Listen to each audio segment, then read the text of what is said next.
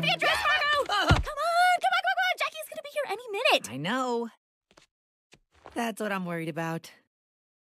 Oh, poor thing. I told you, there's nothing to worry about, right? We just want to make Jackie feel included in our fun times together. Yeah, I guess. Come on, it'll be fine. I promise. Now get dressed. Uh, I am dressed. Red hoodie, jeans. That's pretty much dressed for me. No, you're not.